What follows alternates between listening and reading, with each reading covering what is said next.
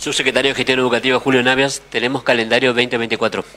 Sí, así es. La semana pasada ya está eh, firmada la resolución del calendario escolar para la provincia de Corrientes.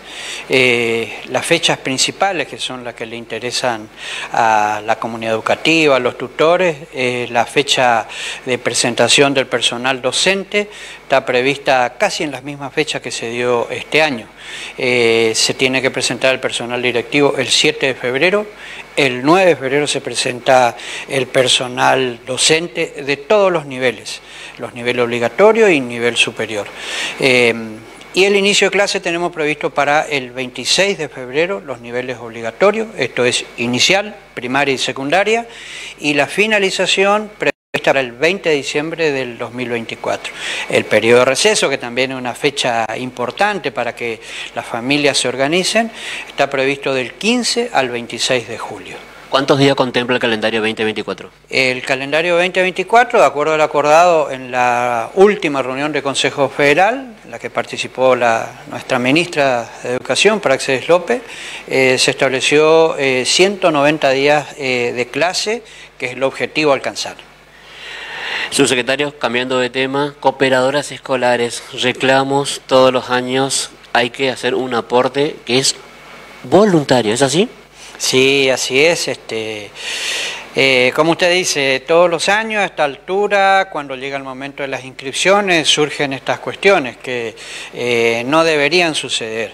Nosotros estamos enviando a cada una de las instituciones escolares el recordatorio que no es exigible pago alguno para tomar eh, la inscripción de los, de los alumnos, de ningún nivel, inicial, primario, secundario, superior, la inscripción es, gratuita, recordemos que es educación pública y gratuita, más allá de que los tutores muchas veces tienen que afrontar algunos gastos, pero eh, el sostenimiento de la educación es del Estado, por lo tanto, no es exigible eh, el pago de cuota alguna de las cooperadoras.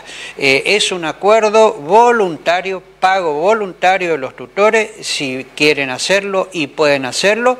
La cooperadora puede pedir esa contribución, pero no es requisito para tomar la inscripción. Eh, tienen la obligación de tomar la inscripción, eh, aunque eh, los tutores no puedan hacer frente a ese pago. Estamos haciendo un memorándum a todas las escuelas para recordar esto, que no es exigible, no es obligatorio, es voluntario.